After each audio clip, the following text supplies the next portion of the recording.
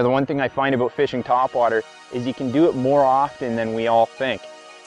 Right now I don't have ideal conditions. I've got overcast, um, it's windy, but the thing is, if you do it the right time of year, where the water isn't as warm, the fish are still gonna hold tight to the cover, and that gives you an opportunity to target them even when you have overcast conditions. The one thing I find that's different between fishing overcast and sunny conditions is that sunny conditions, the fish are buried, they're you know under those mats, and they'll they'll blast anything that rips across the surface. Um, in this condition right now, overcast, the fish are sitting on the outside of the pads and it's sparse.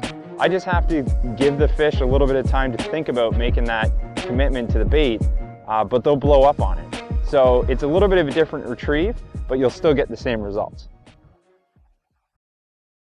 Now it is time to play.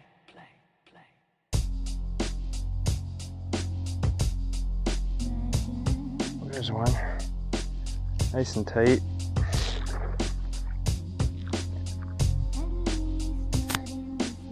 don't know if he's very big. Oh, oh that's a good size. Not bad. There's still, uh, I was just thinking, or wondering if they're because the sun's coming up if they started to bury themselves, but this guy was still on the outside edge, so might still be good for a few more fish on the outside. Not a giant, we'll take him. We'll take him. Put this one in the well.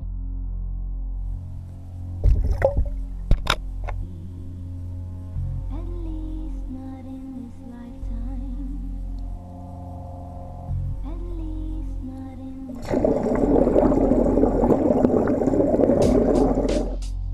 I'd say one of the keys to a higher hookup ratio with a hollow body frog, or even any topwater for that matter, but, but more the weedless frog than anything, is when you see that blow up, you can't react right away, because if you do, you won't, you won't get a hook in. So you- what you wanna do is cast out, see that blow up, pause maybe a second longer than you would with a regular topwater bait, and then give it a good set, and you want to get it in quick. You want to horse that fish out of the weeds.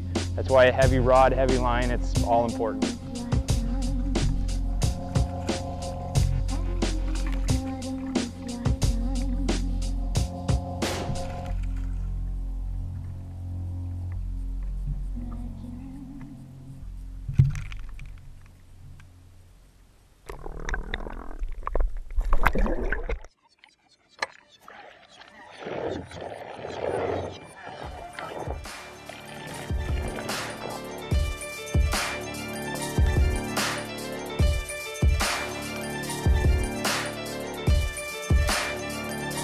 Oh no. When was the last time you broke up a frog?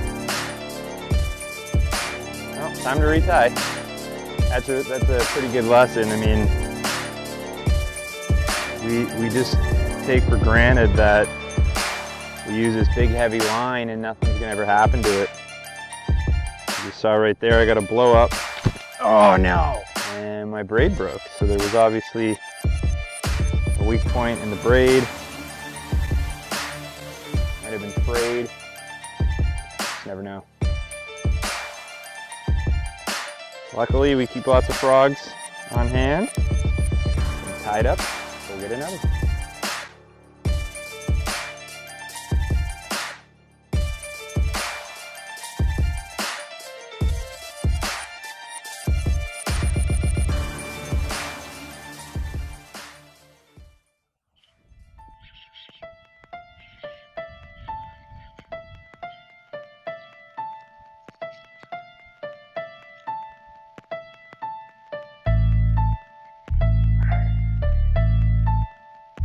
Nice fish.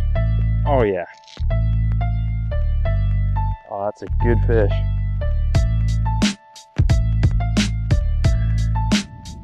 You gotta love it. Under all the salad.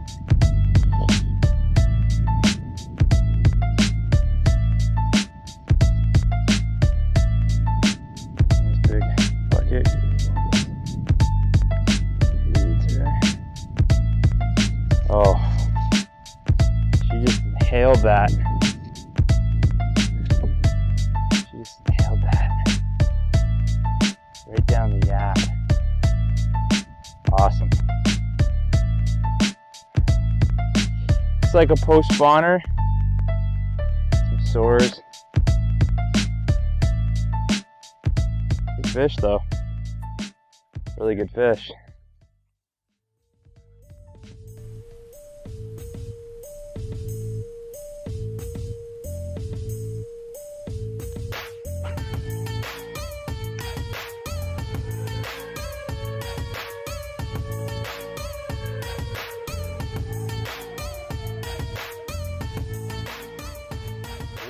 Was a boil. Here we go.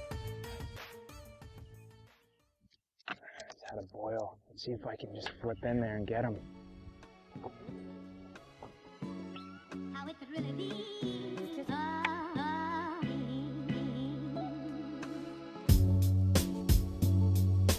It's always good to have a little follow-up tactic. Got this Power Team Texas rig jig. Flip it in there. home.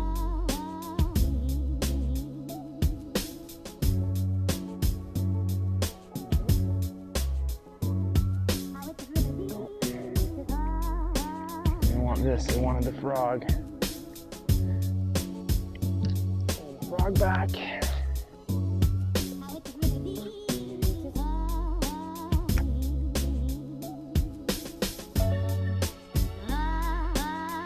There it is. Not a giant. A lot of fun though. We wanted that frog. Yeah, just a little guy. Smacked it though. Topwater frogs, gotta love them.